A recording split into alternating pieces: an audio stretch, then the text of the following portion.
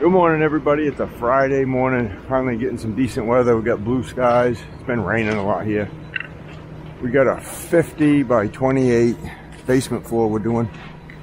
These guys move double wide homes on top of these. So it's gonna this is kind of for a double wide. We're gonna get this going. We got two loads coming, regular floor mix, and we are ready to go. Hey guys, so as we watch this video, I just wanted to talk about something, something that was probably the most difficult thing that I've ever had to do. And it definitely it definitely relates to concrete. But it's also personal and you know, I haven't probably ever talked about this publicly, only very few people know this. But I did want to share it with you guys just in case you know, maybe there's someone out there in a similar situation that I was or someone that has to make a tough decision and you know maybe this will help them get through it a little bit but anyway, just a little backstory on it. When I first started in concrete, I was young. I was like 15 years old. My girlfriend in high school, her father did this. He had his own business. He did stuff just like we're doing right here on the camera. Uh, and he did some commercial stuff too. So, you know, while I was in high school, I decided I'd, I'd go to work for him. So I worked all summers. I worked school vacations. Any day I could work for him, I worked and I did that. I did that for you know sophomore year, junior year, senior year, the year after. I did I did go into a community college the year after I graduated, but I still every every spare day that I had I would work for him. I would work for him after classes, um, just as much as I possibly could, up until the the second year of college. So at that point, I was I was like 19 years old. His, I was still going out with his daughter. This guy had basically mentored me. He was like a second father to me. Um, I came from a split family. My parents had divorced. Had divorced at a very young age. I was like fourth grade. So this guy kind of molded me from being a very immature teenager into a, you know, a, a young man, teaching me what work is about, what life is about. You know, get up early, work hard, you know, make a good wage. And I was doing all that all through high school. So, you know, I, I definitely, I definitely owe him a lot for teaching me that. Even at the time, probably I didn't really, I didn't really realize it. So the the tough thing for me was when I decided to go out on my own and man, that was that was hard. That was scary. When I decided to do it though, was actually getting up the courage to tell him about it. Tell him I didn't want to work for him anymore. Tell him that I wanted to be in business for myself because I didn't know how he'd react. I mean, I at the time I was one of his top men. I was really the number two guy for him at 19 years old, and you know he relied on me. He, I was I was a really good worker for him and he could count on me. So telling him that I didn't want to work there anymore, I felt like I was letting him down, really. So the hardest thing really was getting up the courage just to say, "Hey, um, I won't I won't use his name here, but just say, just say, hey, you know, can I talk to you for a minute in private?" And uh, I'm sure if I'm sure I was shaking when I told him and he, he was like, yeah, yeah, yeah. And we were actually at his house. You know, I was over there at my girlfriend's house. So when I asked him that, you know, we went in and we talked. I can still remember the conversation like it was yesterday, really. But, um, and I, I told him, you know, I just said, hey, you know, I think, I think I want to try working for myself. I want to try, you know, having my own business. And he, he was actually kind of supportive. But I but I got to admit, man, that was hard going from not knowing what how he would react, I guess, to asking or telling him that first. And then anyway, I said, you know, just like most people would say, well, I'll give you my 2 weeks notice, blah blah blah and all that stuff and and that all worked out fine. And then you know, obviously I was still going out with his daughter. Like like we didn't break up because I didn't want to work for him anymore. But that was probably the most difficult thing was just getting that past that point of getting up the courage to tell him what I wanted to do because basically, you know, I'm still 19 years old. I'm still a very young young man. Uh, haven't experienced a lot yet, and even just the fear of really going into business for myself, that was a lot too to handle. I didn't know what I didn't know how to run a business.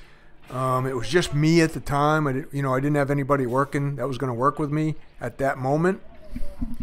So I just knew that I, I knew that I wanted to work for myself. There was like an inner calling in me. Something inside me was telling me that I don't want to work for somebody for the rest of my life. I want to I want to figure this out and do this on my own.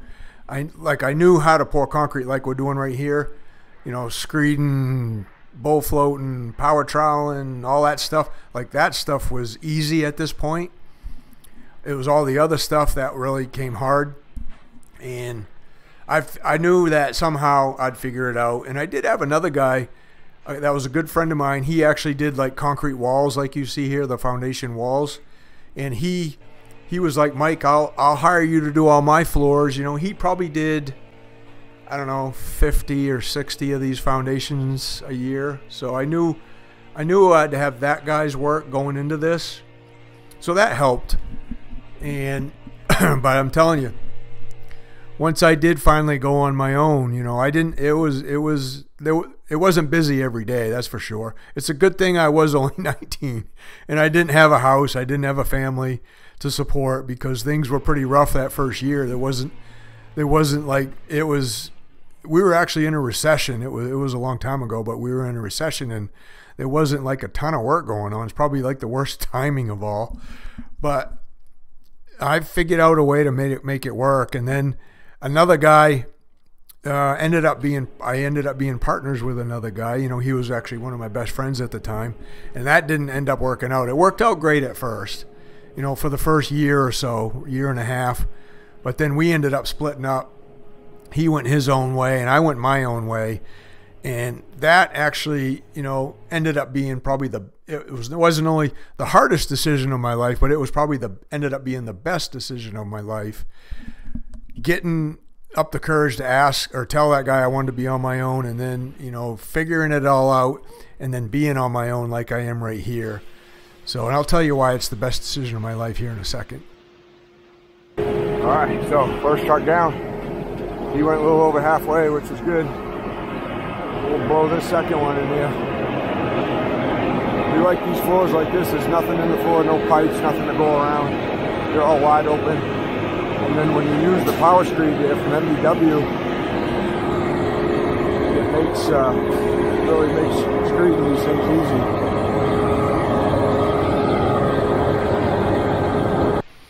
So I guess for me, you know, one of the best things was the I really enjoyed like the freedom of being able to make my own decisions on what I was going to do that day.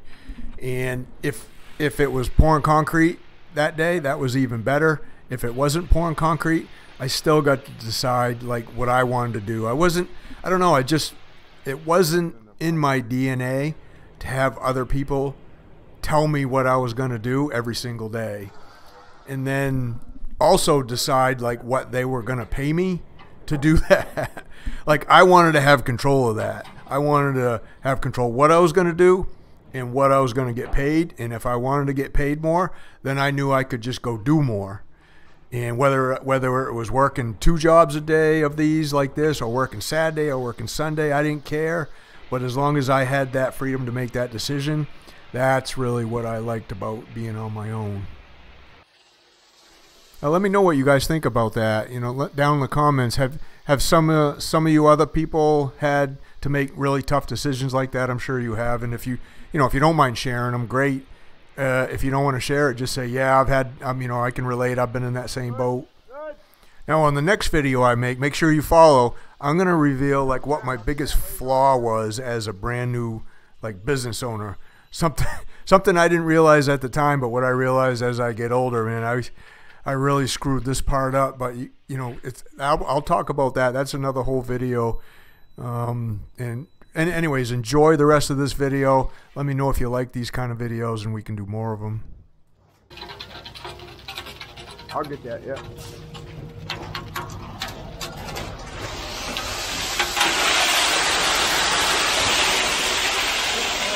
You're all right.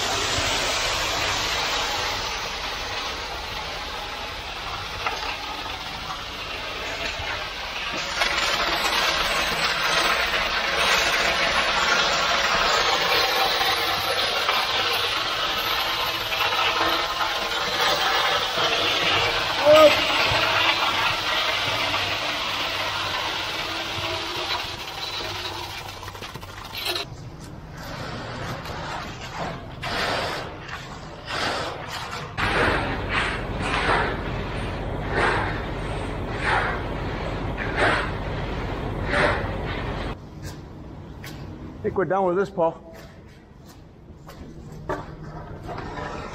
Thank you.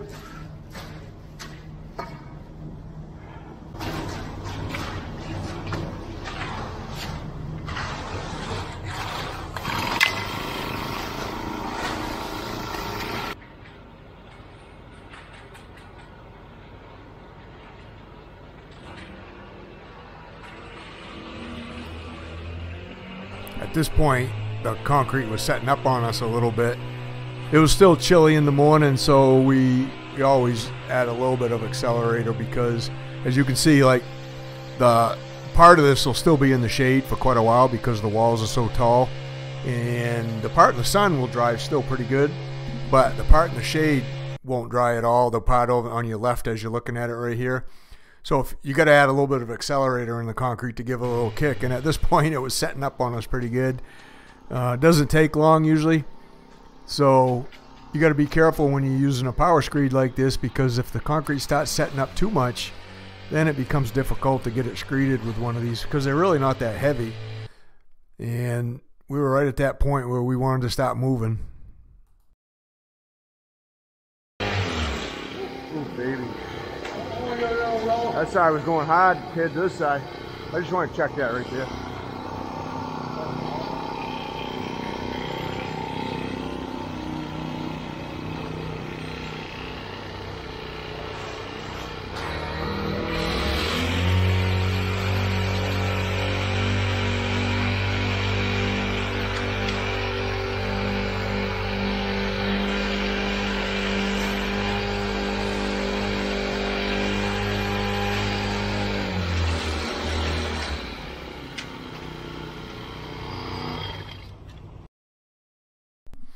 Yeah, all was good. That was good and flat right there. Sometimes I just like checking myself. There's nothing worse than having a little dip in the floor.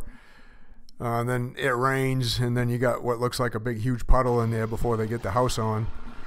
So, pretty easy just to check yourself with these things. The key, what we found, the key to running these is, uh, you know, just going slow and steady. The guy that's pulling back with the handles, keeping that board flat so it's kind of cutting as long as you don't dip it down too low, but you don't want to lift it up too high, so keeping it flat. And then just letting the guys doing the raking do most of the work. Uh, they want to make sure you're not low for sure, but not get it too high either, and then things go pretty smoothly.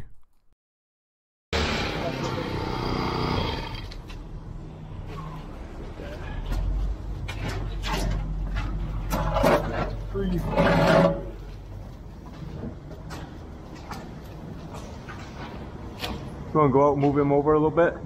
Yep. A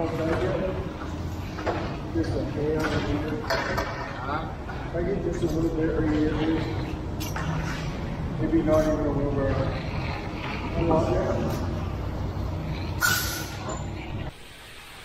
Couple good things here. One is, you know, running a power screed like that consolidates the surface, really makes it easy to bull float.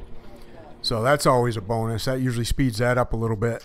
And then using that bull float with the rounded edges, it it barely leaves a line on each side. You know, the square edge ones tend to leave a kind of a deeper bull float line as you push it out and pull it back. That's one thing we really like about those rounded ones is you hardly ever leave lines if you do it right. And then we really like flipping the chute over like that. When we pour over the wall right at the very end, that makes pouring it real easy so the concrete doesn't splatter too bad. Right now I'm trying to get around Darren without hitting him, getting that handle into the bulkhead without hitting the wall. And then we can finish this little piece up and I can get that screed out of there.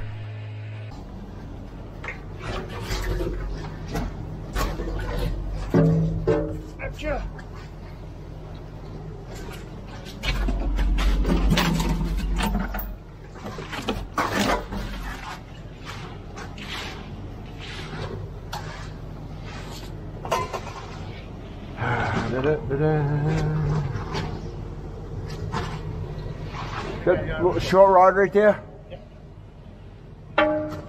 Need a little bit water. Uh, I mean, we will. Yeah. Good.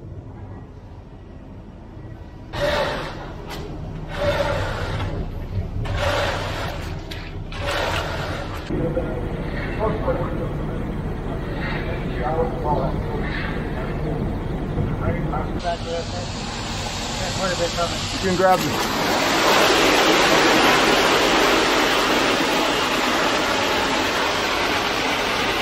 Good.